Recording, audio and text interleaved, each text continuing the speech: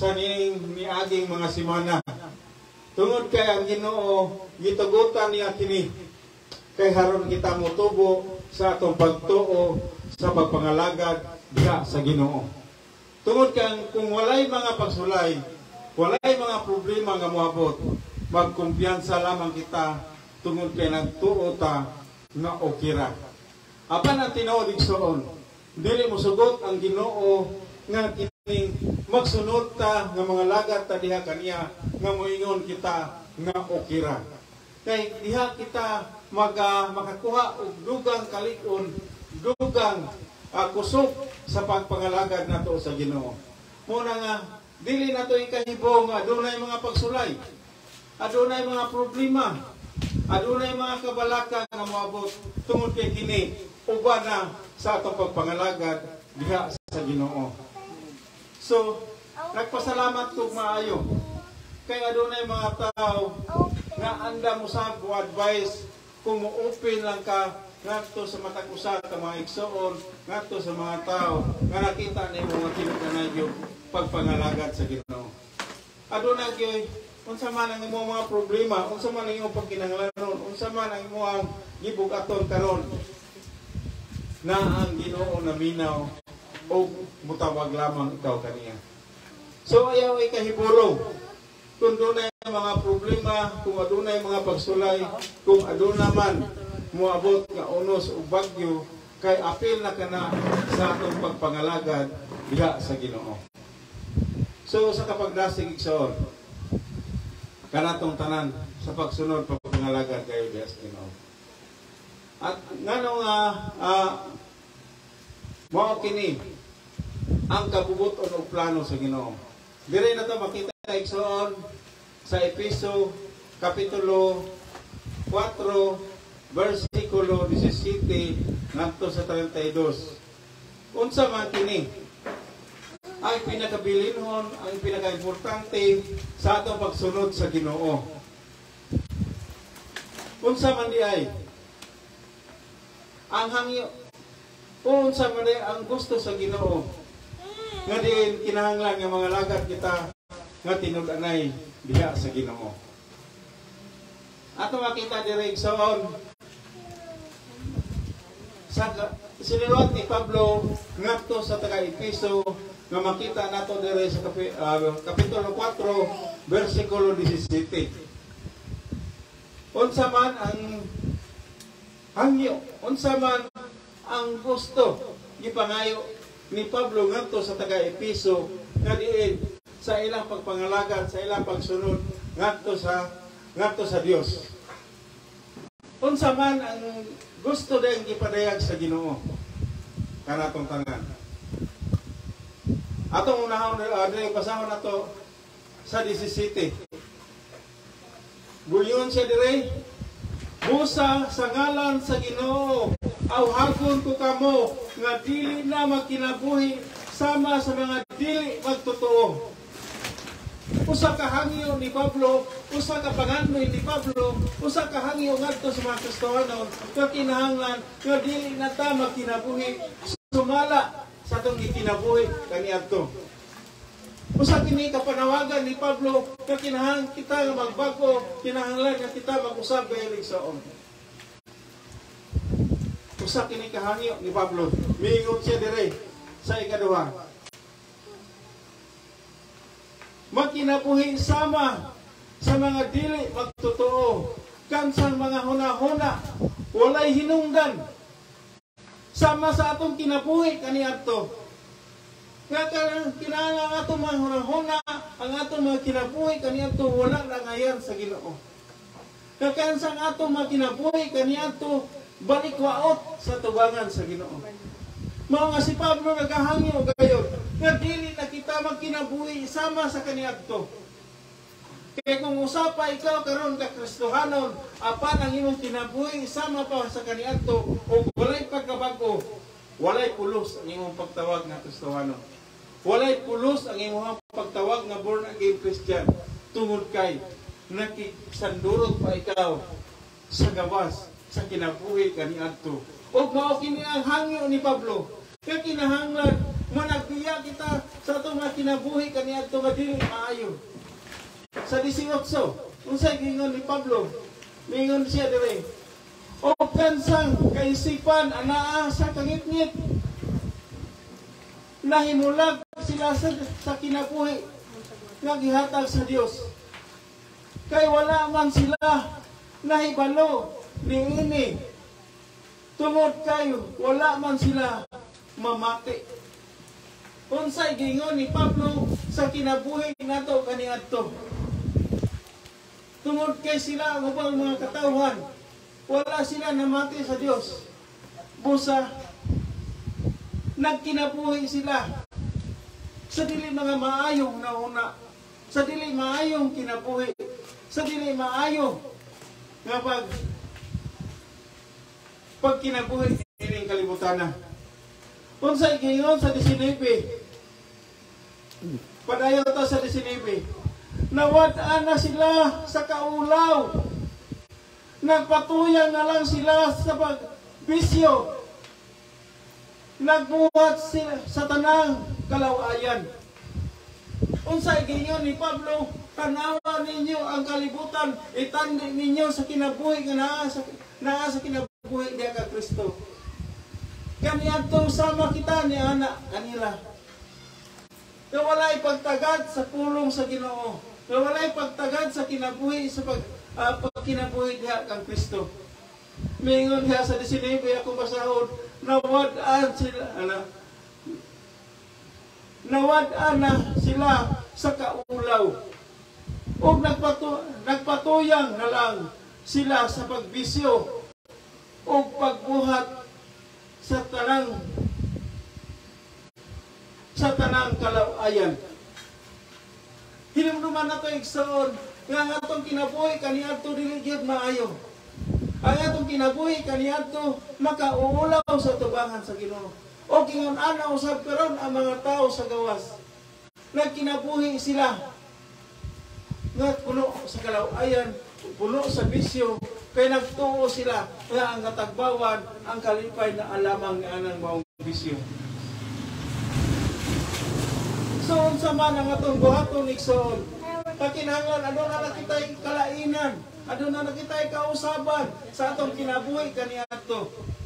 Ano na nakitay pagbago, ano na nakitay pag-usap kay mga anak na kita sa Ginoo.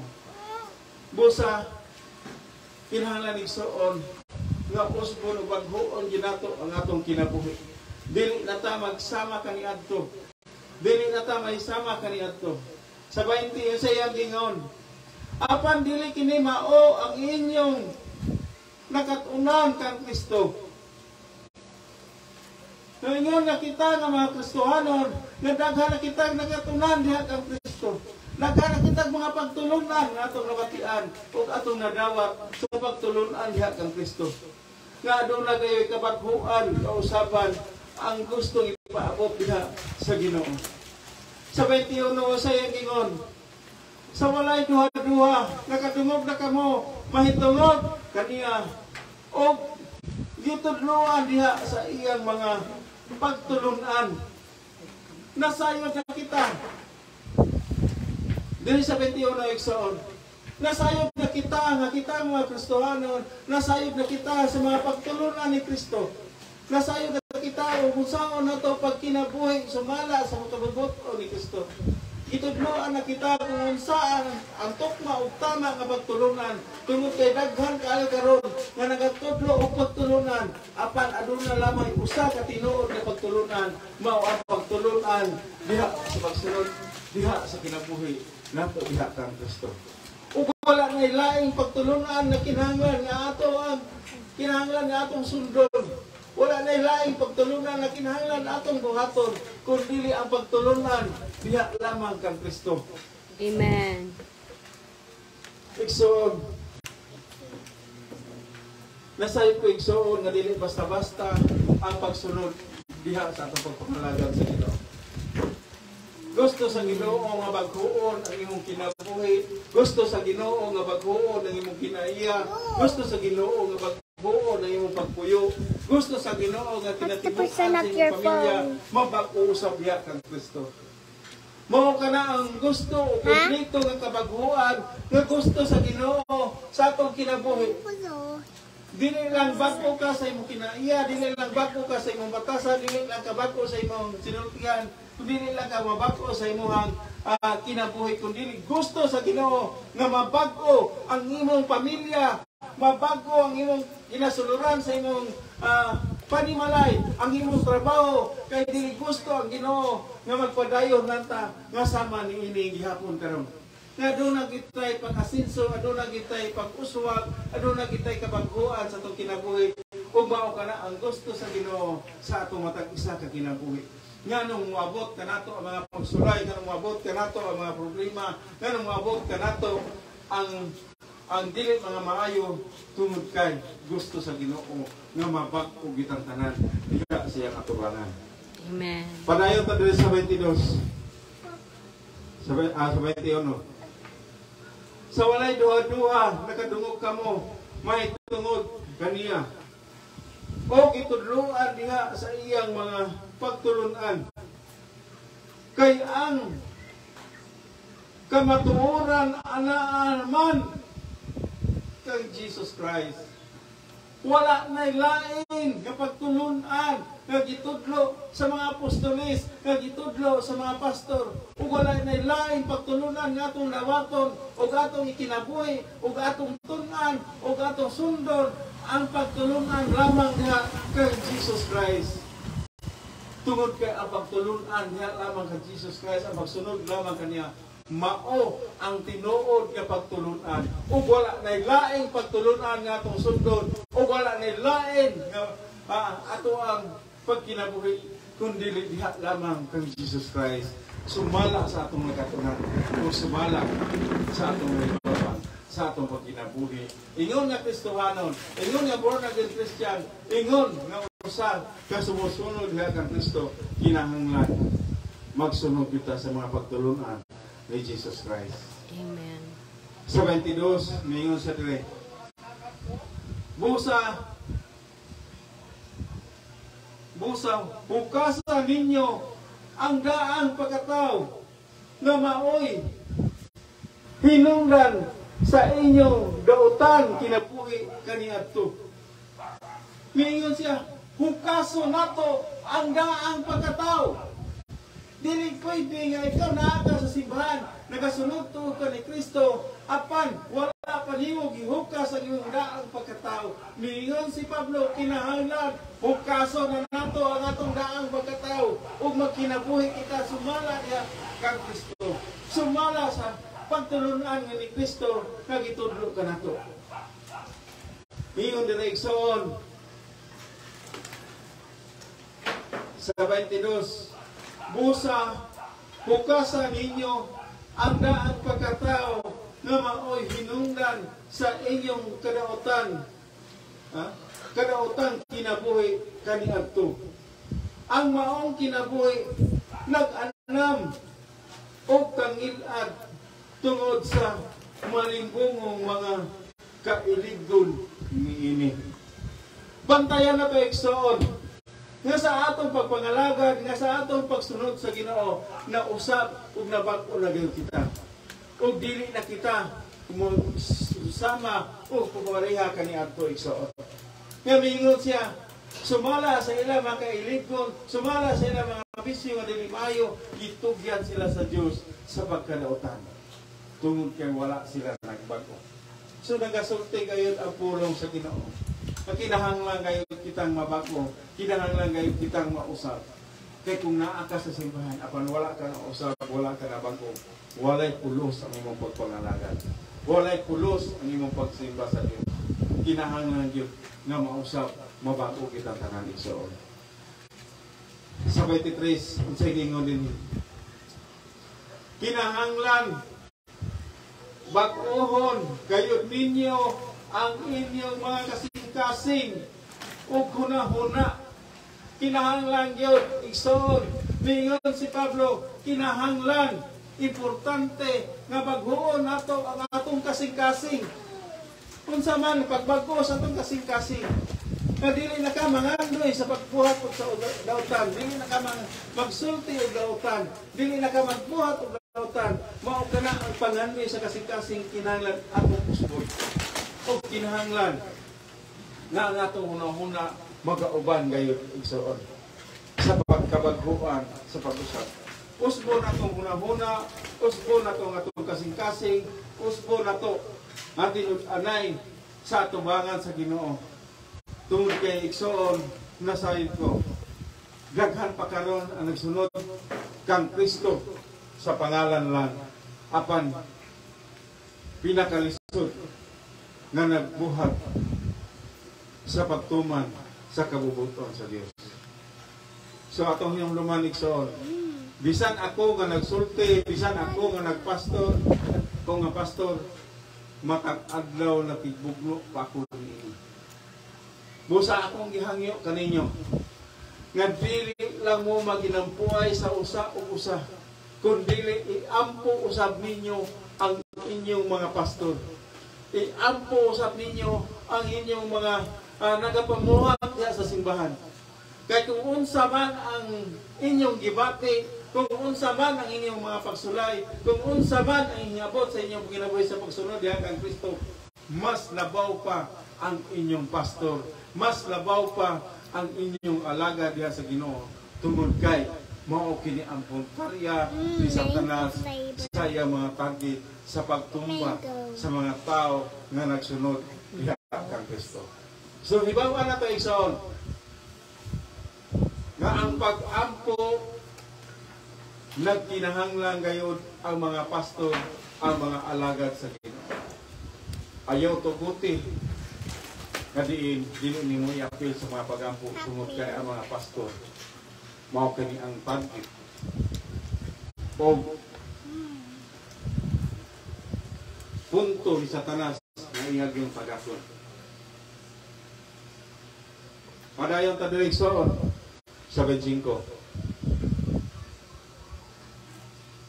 Asa 24. Isunod ninyo ang bagong pagkatao nga gibuhat sa Dios sama sa iyang dagway nga makita diha sa tinuod nga kinabuhi matarong o balaan. Unsa daw ang atong isulod atong hukason ang atong dangal pagkatao. O ato na kining ilabay nga wala na'y paglingi o wala na'y paghuna-huna kanya. Nining maong daan na to nga mga O atong isulob ang pagkabalaan, ang pagkamatarong, ang pagkamaayo, ang pagkamaagho diha sa Dios. Mao kini ang atong isuot, mao kini ang atong isulog sa atong kinabuhi. Mao kini ang usbon nato sa atong kinabuhi. Ang pagsulog sa bag-ong kinabuhi diha kang Kristo nga puno sa pagkabalaan. Mingon diri sa 25. Pusa ayaw na kamo. Pamakak. Isulti ninyo ang tinuod Ayaw na kamo pamakak, isulti na ninyo ang tinuod ngadto sa inyong isikataw. Kay kitang tanan, bahin naman sa lawas ni Kristo. Unsay gisulti ni Pablo, may tungod kang Kristo. Nga dili na kita magsigig pamakak, dili na kita magsigig panghambog, Dili na kita magsig pasigarbo sa atong sarili. Dili na kita masig buhat sa atong gusto nga. Kita lamang ang naimaya. Sumingon siya sa 25. Busa ayaw na kamo pamakat. Isulti ninyo ang tinuod. Ngadto sa inyong isikataw. Kay kitang tanan. Pahin naman sa lawas ni Kristo. Unsa man ang gingon ni Kristo, ang mga taong makakon moadto sa impierno. Nga magsigi pamanta o pamakak tungod kay gamay ra ba? Tungod ra kay wala inungdan nga pagmamakak. Pigsoan sortihan ikaw. Sa gamay nga pamakat o sa dako, nga pamakat o sa dako nga pamakat maora ng tanan usara ka bakak. O mao kining gusto ni Pablo nga kwaon ug baghuon nato sa atong kinabuhi. Midugang pagay diri sa Pablo sa 26 kung kung masuko kamo bantay nga dili kamo makasala o ayaw palungtara ang inyong kasuko sa tibuok adlaw. Bantayan nato igsoon sa atong pagkasuko. Wala mingon ang Ginoo nga bawal ka masuko. Pero kinahanglan bantayan nato ang atong pagkasuko. O gingon siya dire, nga kung kamo masuko, ayaw palungtara o usa ka adlaw. O kinahanglan mangita na ka og mangita na ka og pamaagi, makita na ka og tambag og unsaon. Ang kasuko apan kinahanglan. Kung siya dire, ayaw palungtara og dugay ang imong kasuko. Kay basig mao'y hinungdan unya nga mataga ka ngadto sa impierno pinaagi sa kasuko. Lingon dire sa 26 kung masuko kamo, bantay nga dili kamo makasala. Kaysa dihang masuko kamo, diha magsugod ang pagpakasala. Pagpakasala sa sinultihan, pagpakasala sa batasan, pagpakasala sa pagbuhat. Kinahanglan bantayan nato ang atong kasuko nga dili kita makasala. O ayaw palongtara ang inyong kasuko sa tibuok adlaw. Usa ka tambag, usa ka hatag ni Pablo kanatong tanan, kakinahanglan kumasuko ka, dili gyud padugayon, dili paluntaron og adlaw, dili pa kinahanglan nga dili ka makasala sa imong pagpakasuko. Bantayan nato igsoon nga atong pagpangalaga dili basta-basta. Mingon diri sa 27. Ayaw hataging igayon ang yawa sa diya nga masuko ka, ang yawa malipay na. Sa diya nga masuko ka, ang yawa mangita dayon na. O diferensya, o bikir. So ayaw hatagi kayon ang yawa sa imong pagkasuko.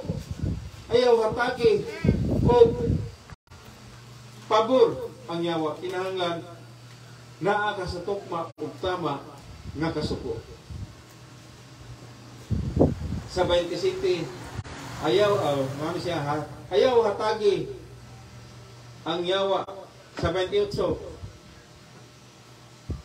ang kawatan kinahanglan nga dili na mangawa. Adunay dako nga kabaghuan diri sa 28 ekso naghangin na sab si Pablo Kakinahanglan ang mga kawatan, dili na kinahanglan mangawat. Kinahanglan ang mga kawatan, magpag-una, mag-usap na. Kinahanglan ang kawatan, magtrabaho na. Kinahanglan, ug butabang nato sa mga maluyahon. Mo na bubasa. Sa 28. Ang kawatan, kinahanglan dili na mga mat.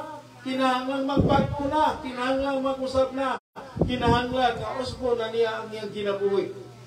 Kung dili magtrabaho na, magtrabaho na, o manginabuhi sa matarong nga paagi. Kinahanglan manginabuhi na sa matarong nga pamaagi. Aron makatabang usab sa mga kabos, kinahanglan ang tapulan, kinahanglan magpuki, ang kinahanglan ang kawatan, magpugi na, di na mangawat, haron makatabang ngadto sa mga kabos. Usa kini kapag pahimag, usa kini pagpahibaw, pagpasidaan ni, ni Pablo kanatong tanan, nga diin kinahanglan aduna na dakop gid nga kausaban gani mingon sa bisan ang mga kawatan kinahanglan dili na mangawat o magtrabaho na o haron makatabang sa mga uh, mga kabos. Sa 30 unsay gingon dire Ah, sa 29 Ayaw na kamo paggamit og daotang mga pulong kundi mga makatabang lamang o makaayo sa mamati kaninyo. Kinahanglan magbantay ta sa atong mga pulong, sa atong sinutihan, sa atong dili maayo nga magbigkas. Kinahanglan nga atong mga pulong, mga tabang, dili na ingon makaangin sa kagubot, dili na makaangin sa kagulian, kundi ang atong mga pulong, atong bantayan. Sabay tinigwi. Ayaw na kamo paggamit og daotang mga pulong, kundi makatabang lamang sa mga makaayo sa mamati kaninyo. So patayan na atong sinultihan, ang atong pinulungan, ang atong binuhatan, kinahanglan nga pure kita, nga born again Christian, nga nagbago kita diha sa atubangan sa Ginoo. Og ayaw sa 30, og ayaw ninyo pasok ah, ang espiritu sa Dios kay ang espiritu mao ang patik sa Dios diha kaninyo alang unya sa adlaw luwason kamo sa Dios. Hinumduman nato nga sa atong pagkinabuhi sa pagsunod diha kang Kristo, bantayan nato ang atong masinultihan, ang atong dili maayo nga pinulungan, atong dili maayo nga binuhatan, ang atong dili maayo nga kinaya kay masubo di ay niini ang balaang espiritu. Ang balaang espiritu mao kini ang patik sa atong agtang, mao kini ang patik sa atong dughan, mao kini ang patik sa atong kinasuluran sa atong kinabuhi, mao kini ang naga-protection, naga naga hatag kanato kaalam, mao kini ang balaang espiritu apan kung dili nimo usbo ng imong pinulungan, dili mo usbo ng imong kinabuhi, dili usbo nimo ang imong binuhatan, ang balang espiritu musibat ug mulayas diha kanimo o mawala na ang patik nga naa punta kanimo. So bantayan nato ang atong kinabuhi. Kinahanglan nga magsunod kay kita diha ka Kristo. Kini ang pinakabugat igsoon diha sa 31. So nga sa 31. Biyain ninyo ang tanang kayugot, kapumot, o kasuko. Igsoon mao kini ang pinakalisod pinakabukat, pinakasakit kayo iso. Nasayod ko, nga bisan ka mo nag-iso ni. Bisan ako iso, sortihan ko ikaw. Nag-lisod ako ni ini.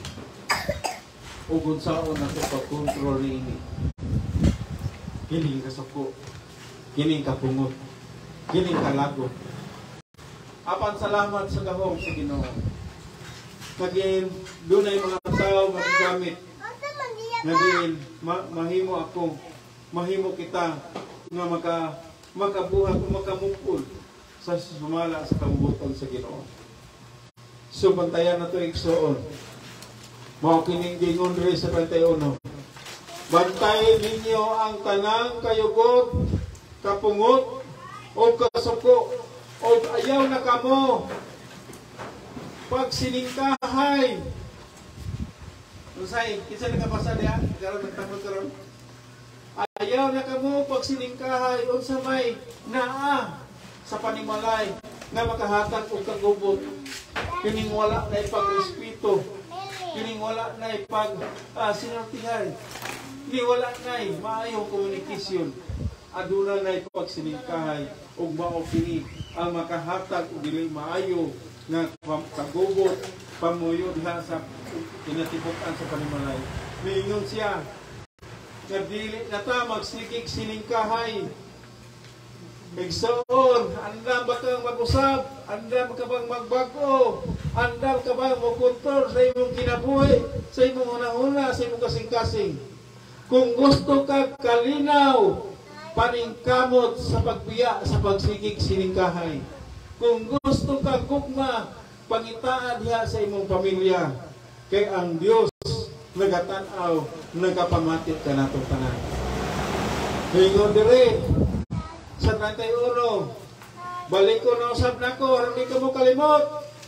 Biyain ninyo ang tanang kayugot, kapumot o kasugko o ayaw na kamo pagsilingkahay o pag ininsultuhay. Ha?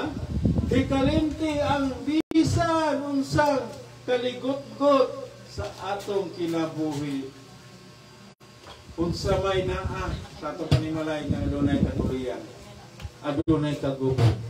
Adunay dili maayo.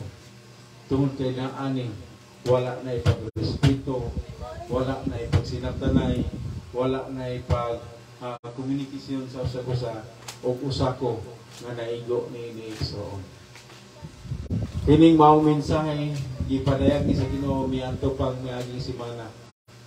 Apan nag-struggle ako sa road sa semana og nasayod ko ang Ginoo. Kining mao mensahe yang ipaabot kanako ug kanatong tanan. aron ta mabago ug mausab ug mabiya gayon sa atong dili maayo na kinabuhi. Amen. Sa 32 sa katapusan,